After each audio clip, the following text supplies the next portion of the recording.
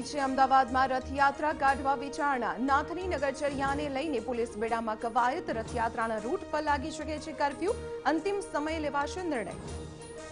અમૂલ દૂધના ભાવમાં વધારો પ્રતિ લીટરે બે રૂપિયા વધ્યા આવતીકાલથી દેશભરમાં લાગુ થશે ભાવ વધારો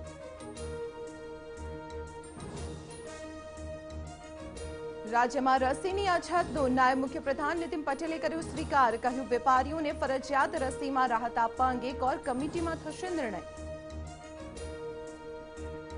કોરોનાથી થયેલા પરિવારને વળતર આપવા માટે સરકારને સુપ્રીમ કોર્ટનો આદેશ દિલ્હીના ગાઝીપુર બોર્ડર પર ખેડૂતો અને ભાજપના કાર્યકર્તાઓ વચ્ચે હોબાળો ગાઝીપુર બોર્ડર પર ભાજપના એક નેતાનું સ્વાગત કરવા પહોંચેલા કાર્યકર્તાઓ સાથે ખેડૂતોની ઝપાઝપી પંજાબમાં રાજકીય બબાલ વચ્ચે નવજોતસિંહ સિદ્ધુની પ્રિયંકા ગાંધી સાથે મુલાકાત સાંજે યોજાશે કમિટીની બેઠક સિદ્ધુ સાથે બેઠક બાદ પ્રિયંકા ગાંધીની રાહુલ સોનિયા સાથે ચર્ચા